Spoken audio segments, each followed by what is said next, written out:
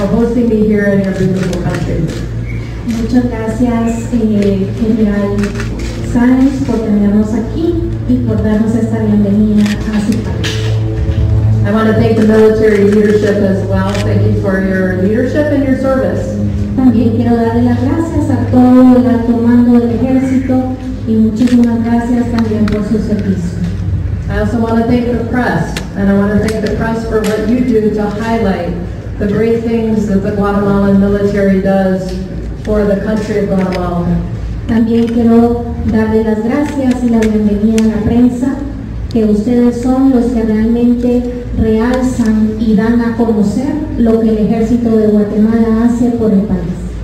It's so important that we highlight the great things that the military is doing for the country of Guatemala, but not just for the country of Guatemala, but for the entire region of Central America. Es muy importante que resaltemos el trabajo que hace el ejército de Guatemala por el país, pero no solamente por el país, sino que por toda la región. I'm very honored to be here today and to receive this award, this Guatemala Award from the military, from the minister, the La Cruz Servicio- Servicios Distinguidos. Estoy muy honrada estar aquí y de haber recibido la condecoración que me entregó el ministro de la Defensa, que fue la Cruz por Servicios Distinguidos.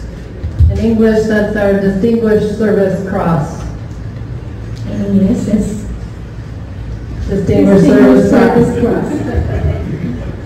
But it's my honor to receive that, Minister. Uh, Thank you very much from the ministry and the- and President Arevalo for the signatory of the of the approval of that award. So thank you very much. It is my honor, and I'm uh, deeply grateful for that. Thank you. Muchas gracias.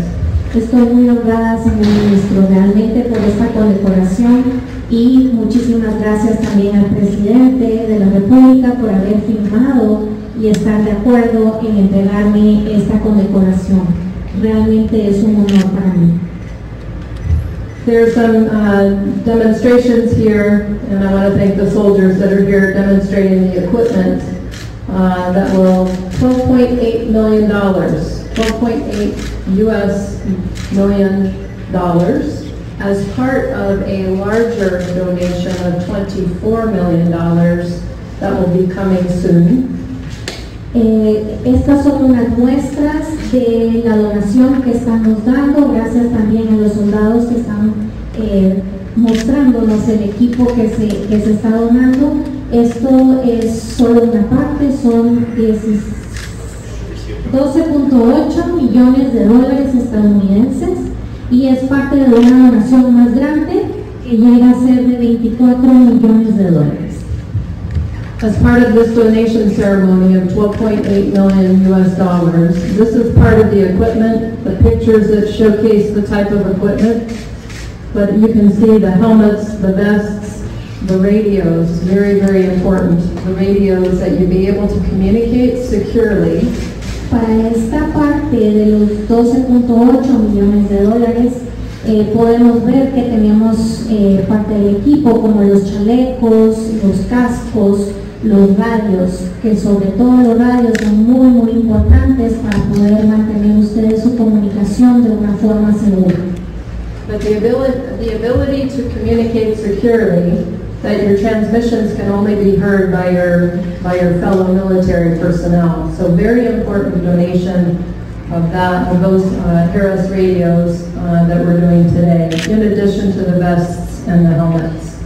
Eh, la donación de este equipo de radio es muy, muy importante porque eso es lo que les va a permitir a ustedes mantener su comunicación segura y que la puedan escuchar solo entre ustedes mismos en el ejército, aparte de los chalecos y los cascos.